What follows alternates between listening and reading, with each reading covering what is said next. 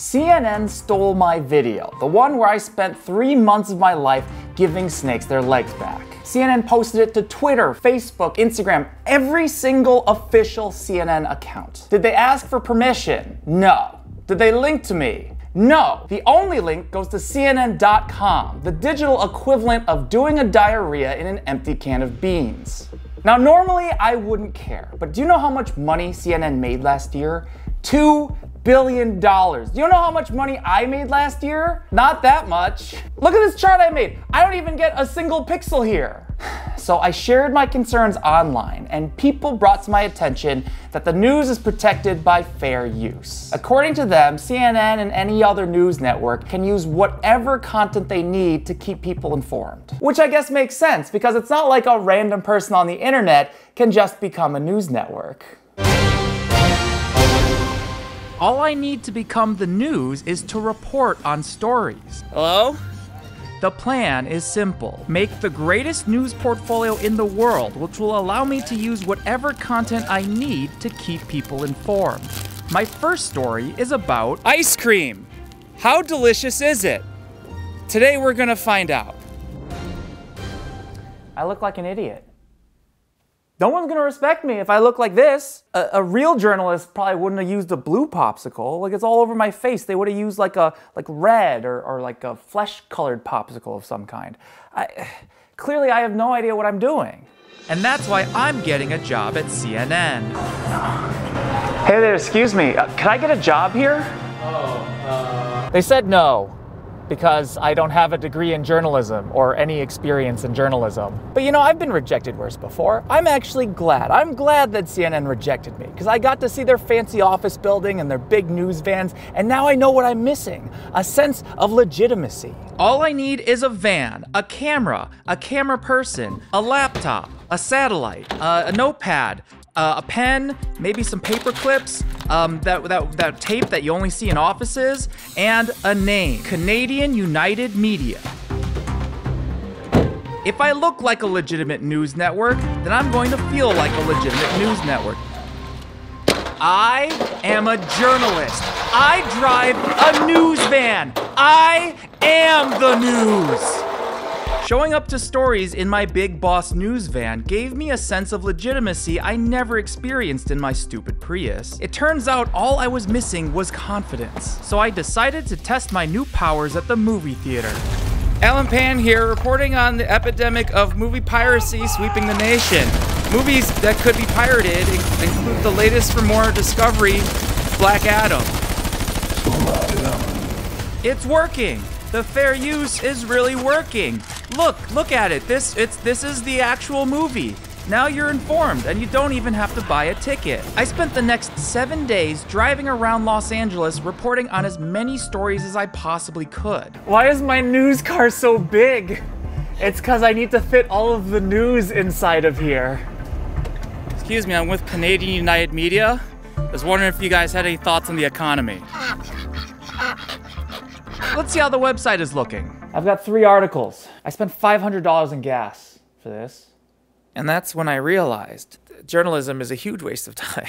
well, because I, I, I'm trying too hard. When CNN fair used my video, they just deleted my audio and replaced it with music and captions. And they didn't really change anything. You don't even need a human to do that. Like, I bet you could just automate that entire process. So I found a woman online willing to work for exposure, and she created an AI journalist that scrapes all of the headlines from the CNN front page and uses those headlines to generate original articles. Katy Perry explains her eye twitch moment as a party trick. Tesla Robot slowly walks on stage. Neat? Nope. Spirit Halloween CEO lists some of the most popular costumes this year. The Christmas bunny costume with a Christmas tree. A rabbit that could be babies with an orange nose and no tail. A Halloween bunny that is just like yourself. A Halloween bunny that looks good. A Halloween bunny that is fun, an alien, and an ode to all things holiday. This thing is a much better writer than I am. It's already written over 5,000 articles. I am the greatest journalist of all time. Breaking news! I, I still have bills and CNN hasn't paid me yet. So I want to thank the sponsor of this news report, Established Titles. With Established Titles, you can become a real lord or lady by buying a dedication to one square foot plot of land in Scotland. It makes a great last minute gift, especially for millennials, because this is the closest they're ever gonna get to owning land. This is my editor, Audrey, and she's really hard to shop for because as a child she had a pet hermit crab that was eaten by a Scottish terrier, and she's had mixed feelings about Scotland ever since. So now she's a lady of Scotland. Here you go, here you go, Merry Christmas. I guarantee that if you haven't had success online dating, it's because you didn't have the title of Lord. And now you can put it in your dating profile with established titles. And the first 200 people to sign up using the link below will get a plot number next to mine. And that way, we together can build the Canadian United Media Kingdom. Established Titles plants a tree with every order, and they work with One Tree Planted and Trees for the Future to support global reforestation efforts. Established Titles is actually running a Black Friday sale right now, and if you use this code, you'll get an additional 10% off.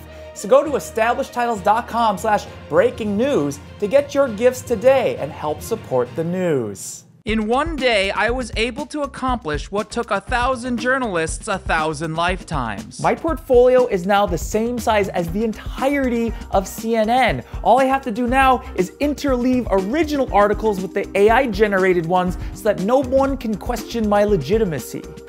Also, I need people to read the articles. No one is visiting my website. I just need one big news story to generate clicks. And lucky for me, the Emmys are in town. Okay, so Allie and then up.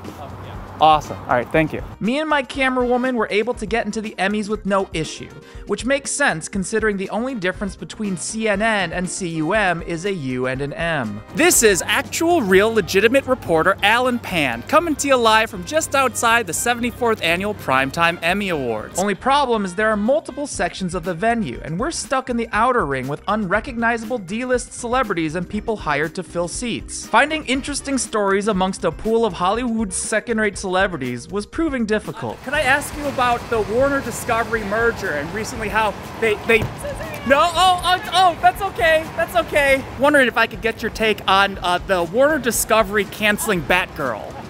For some reason, I couldn't get anyone to agree to an interview. Do people not trust mainstream news anymore?